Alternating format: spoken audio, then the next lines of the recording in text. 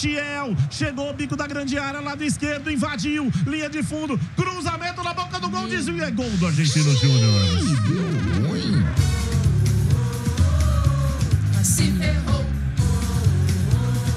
Houve um equívoco. Cabreira, Mas é o que eu falei agora há pouco, De Paula. Nada mudou do último jogo. E isso é trabalho de treinador, De Paula. Não tem ninguém que cobre os caras.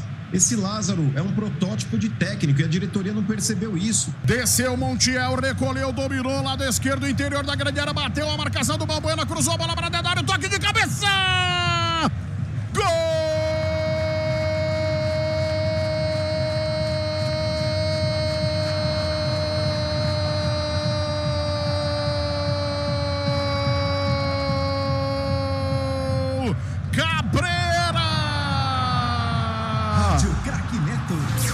Argentino Júnior.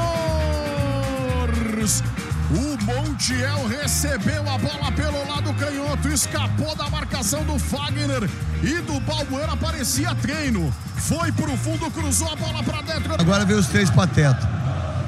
Pô, brincadeira, cara. Não aguento isso aí, não. Não aguento isso aí. passagem pelo Fagner, invadiu a área, driblou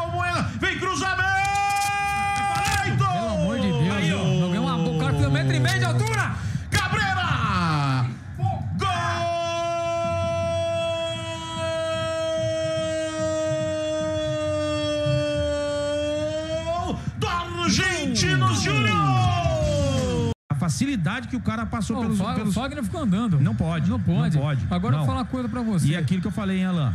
Deixa eu ver o Corinthians aqui chegando, Juliano. Tocou pro Yuri Alberto, sai o goleiro Lanciló. É, com todo respeito, De Paula, o Fagner, na jogada que o Corinthians toma o gol, ele coloca o sistema defensivo inteiro em xeque quando ele vai, tipo,